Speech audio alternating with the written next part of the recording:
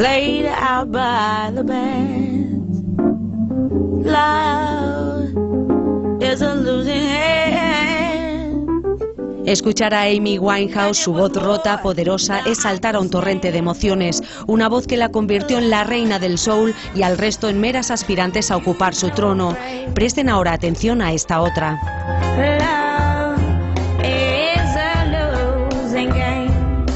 Es Dion Bronfield y tiene 15 años. Se dio a conocer en un concurso británico. Winehouse la vio, la escuchó y no tuvo dudas. Era su voz hermana, su heredera. En el 2009 creó un sello para producir sus discos y hasta le ha hecho los coros.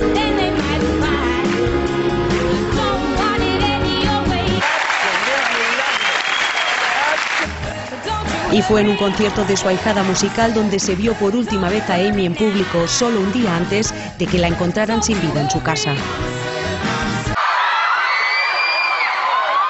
Y a Bronfield la hemos visto después de la muerte de Winehouse en su funeral, diciéndole adiós.